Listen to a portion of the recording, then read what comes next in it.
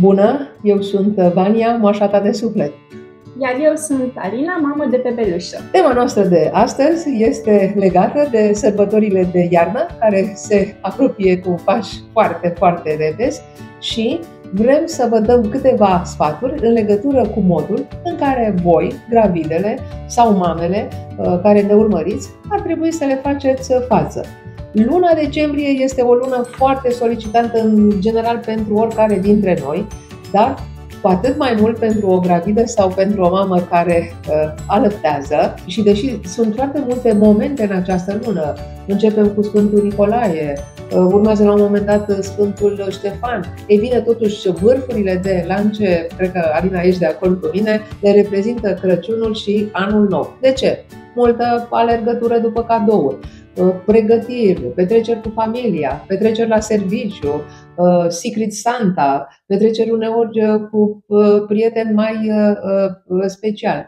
Ei bine, toate acestea sunt foarte solicitante, plus pregătirile tradiționale specifice acestor mese da, de Crăciun și de Anul Nou. Și care pot să fie, desigur, o tentație foarte mare, nu numai pentru noi, dar și pentru voi. Toate la un loc însă pentru voi, uh, cele care sunteți gravide sau mame care alăptați, implică multă epuizare și chiar uh, stres, uh, pentru că să știți că nu mai aveți aceeași energie pe care ați avut-o înainte să rămâneți în gravide, înainte să aveți bebelușul. Dragilor, atenție la activitățile pe care le desfășurați în această perioadă Um, atenție să vă odihniți suficient, să mâncați totuși sănătos și echilibrat, să reușiți să vă odihniți. Eu și Vania vrem să vă facem azi câteva recomandări, astfel încât să treceți cu bine peste aceste sărbători și să nu vă simțiți frustrate sau chiar excluse din atmosfera atât de frumoasă a Crăciunului și a anului nou și să le luăm pe rând. Hai să începem cu recomandările care de obicei în această uh, perioadă vin de la uh, rude, de la prietene, de la uh, familie, pentru că avem multe zile libere, pentru că unii ne luăm și vacanță în această perioadă. Ei bine, la întâlnirile sau la petrecerile la care participăm, uneori voi gravidele și și mamele trebuie să faceți față unei multitudini de recomandări legate de sarcină, de naștere, de alăptare, Uh, din partea celor din jurul vostru, uh, care uh, se simt, eu știu așa, parcă folositoare dacă vă dau sfaturi din experiența pe care au avut-o ele în acest sens la un moment dat. E bine, nu vă stresați să ascultați toate sfaturile pe care le primiți și nu trebuie să vă simțiți presate astfel încât să faceți așa, așa cum vă spunea cineva. Și sunt convinsă că toate avem o poveste de spusă cu privire la soacra sau sau socrul sau prietenii care ne-au spus că trebuie să facem ceva într-un anumit fel, altfel o să se întâmple ceva foarte rău. de exemplu, eu anul trecut uh, eram în uh, trimestrul 2 de sarcină, în uh, perioada sărbătorilor între Crăciun și Anul Nou, și ce am reținut de acolo a fost o lecție foarte importantă pentru mine. M-am lăsat destul de presată Uh, de către familie să mănânc și eu niște sarmale, că erau sărbătorile oh, în așa, Vania. Sigur. Deși tocmai ieșisem din uh, trimestrul întâi de sarcină, unde avusesem foarte multe grețuri, mă simțeam mai bine. Cei drept, mă simțeam mai bine, însă simțeam că nu este tocmai gata corpul meu să suporte așa mâncare grasă grea. Uh, nu zic că nu aveți voie sarmale, însă eu după ce am mâncat trei sarmale, am vomitat foarte mult. A fost uh, destul de violent, uh, nu înțelegeam ce se întâmplă, tocmai ce trecusem de grețuri și oricum nu erau aceleași grețuri, pur și simplu am avut o indigestie serioasă, astfel încât am ajuns să chem salvarea. Deci, mai bine ascultați de corpul vostru și de ce uh, vă face pe voi să vă simțiți bine decât de sfaturile celor din jur. O altă problemă, Alina, cred că ești de acord să o menționăm așa imediat acum pusă sub prima, cu recomandările este cea legată de uh, gestionarea timpului, de somn și de pauzele de uh, odihnă. Uh, pentru că trebuie să recunoaștem, și Alina să ne punctez după aceea, faptul că, ca și gravide, Uh, sau ca mame care alăptează, nu mai avem și în speță voi, nu mai aveți aceeași energie pe care ați avut-o înainte de sarcină sau înainte de a avea bebelușul, cum, uh, cum se întâmplă acum. O să vedeți că de multe ori simțiți că vă doare spatele, uh, simțiți că parcă vă dor picioarele, obosiți mult mai ușor. Ei bine, împărțiți-vă timpul și oferiți-vă pauze de odihnă pe parcursul zilei între diferitele uh, activități uh, pe care le aveți. Pentru că să știți că lipsa de uh, odihnă poate să vă afecteze destul de mult. De pildă, la gravide, li se încetinește metabolismul, mănâncă mai mulți carbohidrați și simt o stare mai pronunțată de epuizare mamele și ele simt uh, din plin uh, uh, oboseala și supra-solicitarea dacă nu fac pauze și ceea ce este la, el, la ele, atenție, este foarte important, faptul că pe fond de oboseală poate fi influențată secreția lactată. Deci, atât gravidelor cât și mamelor. Dar la mame aici avem niște mențiuni speciale. Dar gravidelor în mod special le recomand uh, un somn de noapte între ora 10 și 7 dimineața. Sunt cele mai bune ore de somn. Iar celor care sunteți uh, mame și alăptați atenție la cerere, vă recomand ca atât în timpul zilei cât și în timpul nopții să vă reglați orele de somn în funcție de orele de somn ale bebelușului vostru. Pentru că cele mai multe depresii postnatale, să știți că apar tocmai din cauza oboselii și a lipsei de somn, uh, și aici mă refer uh, la uh, perioada de alăptare. Alina, pentru tine cum a fost cu somnul? Când eram gravidă, pot să zic că am dormit. Am dormit chiar bine. Eram obosită deseori și nu ratam nicio ocazie să pun capul pe pernă. Ceea ce mă punea la somn aproape instant erau acele meditații zilnice și atât de bine au funcționat încât uh, am vrut neapărat să fac și o astfel de meditație și să pună la dispoziție vouă Chiar o să găsiți una pe acest uh, canal. Însă acum, uh, ca mamă, lucrurile s-au schimbat. Da, auzim cu toate că Așa. noi trebuie să dormim de fiecare dată când doarme bebe. Însă nu este atât de ușor, pentru că mai ai și alte nevoi. Mai trebuie să faci și un duș, mai trebuie să și mănânci, să faci niște cumpărături și ideea este că și acele lucruri tot când doarme bebe o să le faci cel mai probabil. Așa că ce am făcut eu în primele luni după sarcină a fost să dorm noaptea, evident, cât dormea bebe, dormeam și eu, iar ziua dedicam cel puțin o siesta a bebelușei, astfel încât să mă odihnesc și eu. Acum este mai bine din acest punct de vedere. După primele 4-5 luni o să vedeți că bebe ajunge să doarme mai mult ore mai lungi, neîntrerupte. Acum bebelușa mea are 8 luni, doarme chiar foarte bine noaptea, dorm și eu noaptea foarte mult. Acesta fiind zise, încă mă simt obosită, foarte obosită în ultimele zile, Poate este din cauza stresului și încă în câteva luni urmează să mă întorc la lucru, dar da. asta absolut este o discuție pentru altă dată. Da, trebuie să luăm în considerare și această discuție, pentru că e un stres care apare la un moment dat, dar acum am ajuns la masa de Crăciun și de anul nou. Ce vă recomand eu? Atenție să evitați la aperitivele de la aceste uh, mese festive mezelurile reci, Uh, prosciutto, uh, peperoni, carnea fiartă, pentru că pot uh, conține paraziți de toxoplasmoză, care la rândul lor pot fi dăunători atât copilului din burtica voastră, cât și celui pe care îl alăptați. Dar atenție, aveți voie grătar, carne bine preparată, din curcan, din vită, din porc. În măsura în care sunteți vegetariene, sigur că aveți alte recomandări. Atenție însă mare la brânzeturi și aici am să o rog pe Alina să vă facă câteva mențiuni și nu în ultimul rând hidratarea, care este foarte, foarte importantă. În sarcină, 2 litri pe zi, ajută la dezvoltarea creierului copilului. 87% din creierul copilului, să știți că este format din apă.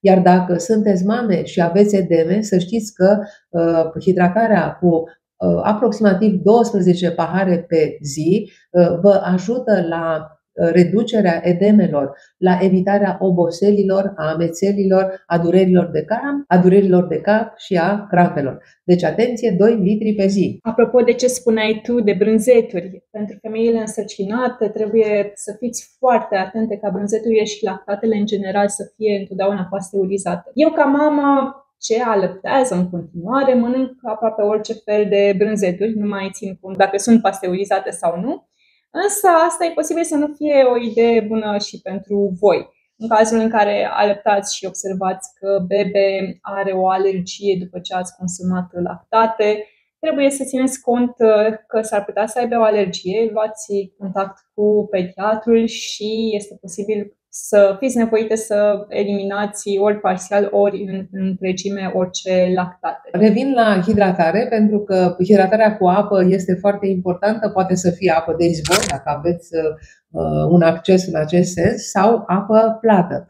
Evitați însă uh, apa carbogazoasă, iar la aceste mese festive evitați totuși consumul de băuturi alcoolice, care sunt uh, contraindicate atât pentru uh, voi gravidele, cât și pentru mamele care alăptează.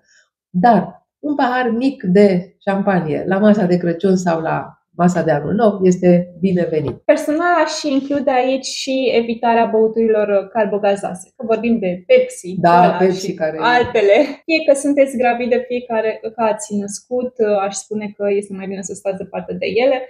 Nu aduc niciun beneficiu sănătății, din potrivă pot crea dezechilibre ale glicemiei, vă puteți simți balonată, nu cred că sunt interzise de doctor, probabil că nu există o interdicție în acest sens, însă eu personal consider că așa este mai bine și stau departe de astfel de băuturi. E, bine, se spune că dacă ți-e puțin poftă, ă, poți să guști un pic, dar asta este altceva, ca și cu mâncarea de fast food. Mm. Uneori se întâmplă. Am întâlnit persoane care în viața reală mâncau uh, foarte sănătos, nu consumau uh, Pepsi sau mm. Cola sau uh, băuturi de genul acesta și în sarcină s-au trezit cu asemenea pofte incredibile. Știu ce zici, da. Am ajuns la stres, Alina. Stresul e o mare problemă pentru că el este foarte dăunător în perioada de sarcină. Duce la creșterea secreției de cortizol, care poate contribui da, la declanșarea de contracții uterine, la mamele care alăptează. De asemenea, el este dăunător pentru că poate să ajungă prin lapte la bebeluș și îl afectează direct. Devine neliniștit, devine agitat, plânge fără niciun uh, motiv. În sezonul de iarnă, atenție, stresul poate uh, genera uh, chiar o senzație de lipotimie, adică de leșin, foame, deshidratare, aveți grijă ca tot timpul, acum, în perioada aceasta, când plecați la diverse drumuri mai lungi, da, pentru cumpărături, pentru cadouri, să vă puneți totuși în geanta voastră o sticlă cu apă și un sandwich pe bază de proteine. În această perioadă a sărbătorilor, stresul poate fi generat de alergatul după cadouri, de pregătiri, de familie chiar. De exemplu, faptul că voi petrece Crăciunul uh, și anul nou sărbătorile alături de familia soțului meu este ceva care mie îmi cauzează un stres acolo. Ei sunt niște oameni foarte drăguți, însă ca în orice familie există și niște mici tensiuni care, odată cu venirea unui bebe, se pot uh, accentua. Și sincer, cred că o să-mi fie foarte greu, foarte greu să o aud pe soacra mea că pune la îndoială cea mai mică chestie pe care o fac eu ca mamă sau pe care o face soțul meu ca tată.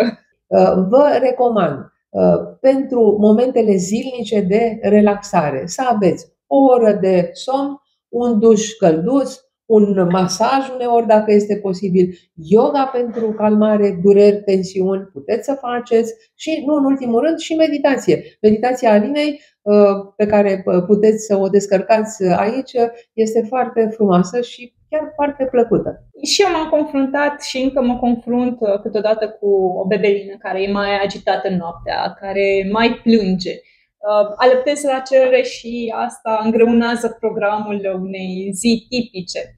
Cheia este suportul din partea soțului meu și din partea mătușii mele. Am foarte mare noroc că am uh, aceste persoane în viața mea. Așa că nu ezitați să vă faceți o echipă de sprijin, de suport, fie că sunteți însărcinată sau ați născut, persoane pe care vă puteți baza atunci când vă este greu. Și acum câteva atenționări în situații de urgență. Dacă simțiți în ziua de Crăciun, în noaptea de anul nou, în sfârșit, în această perioadă că burtica la un moment dat vi se întărește, încercați să vă așezați comod pe un fotoliu sau dacă puteți chiar să vă întindeți pe un pat și așteptați să, ve- să vedeți ce se întâmplă. Dacă burtica își revine și se relaxează, e în ordine.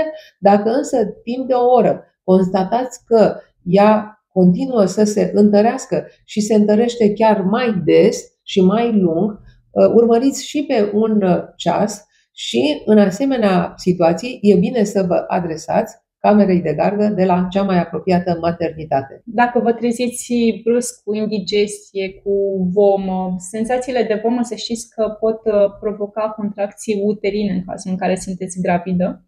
Iar dacă sunteți mamă și alertați, e posibil să aveți ceva ce se transmite bebelușului. Atunci este important să fiți foarte atente, să urmăriți astfel încât să vă asigurați că și voi și bebelușul sunteți hidratați și în cazul în care observați modificări, sunați doctorul, pediatrul sau chiar și la urgență dacă e nevoie. Uh, dacă apare o ușoară amețeală sau dacă vedeți puncte negre sau musculițe în fața ochilor, controlați-vă tensiunea arterială și dacă constatați că a depășit valorile uh, normale, adresați-vă la camera de gardă a celei mai apropiate maternități. Și nu în ultimul rând, dacă constatați că vă apar picături de sânge pe tampon, de asemenea, adresați-vă la camera de gardă a celei mai apropiate maternități. Un lucru pe care l-am făcut eu când încă mai eram gravidă în această perioadă, deci cam acum un an, este că la ultimul control înainte de sărbători am discutat cu doctorul meu ce să fac în situația în care se întâmplă ceva, uh, mai ales știind că și ea era în concediu cred că o săptămână sau două. În cazul meu mi-a spus că pot să o sun, sunt și alți doctori care vă pot spune contactați direct uh, serviciile de urgență sau camera de gardă, astfel încât uh, să știți efectiv uh, la ce să vă așteptați și cum puteți să gestionați această situație. Și asta, deci, da, le relaxează și te relaxează mm-hmm. foarte mult atunci când știi clar că dacă e, apare o situație, iată ce trebuie să fac. Ăsta este mm-hmm. planul meu. Iată-ne la sfârșitul uh, ultimului episod de pe anul acesta un blog pe care l-am lansat acum în 2022 ca un uh, proiect între Mașa Vania și mine. Sperăm că informațiile de aici vă sunt de ajutor și ne-ar face foarte mare plăcere să interacționăm mai mult cu voi în noul an dacă aveți idei sau subiecte pe care doriți să le discutăm, vă rugăm să ni le trimiteți, ne-ar face foarte, foarte mare plăcere. Și pentru că Moș Crăciun urmează să vină în curând, eu vă doresc ca el să pună în sacul pentru voi nașteri naturale pentru gravide, lăpic în sân pentru uh, mămici, liniște și pace în suflet. La mulți ani, dragilor! Iar anul nou să vă aducă multă, multă încredere în propriile voastre forțe și să vă aducă din când în când și câte o bonă, astfel încât să puteți să, nu știu, vă mai faceți o manicură, un coafat și așa mai departe. Sau citiți o carte. Exact. Sau vedeți exact. un film. Trebuie să vă acordați și vouă timp. Deci o mămică uh, nu trebuie să rămână doar în exclusivitate mămică. Uh, dacă v-a plăcut uh, conținutul acestui uh, episod, vă rugăm să-l distribuiți astfel încât să ajungă la cât mai multe gravide și proaspete mămici și nu uitați că eu sunt activă și vă pot răspunde la orice întrebare pe Facebook, Instagram, TikTok, Mașa Vania și pe site-ul www.activecenter.ro. De asemenea, vă puteți abona la acest canal pentru a nu rata niciun episod legat de îngrijirea bebelușului, sarcină, alăptare și perioada postnatală. La, la mulți ani! ani! La mulți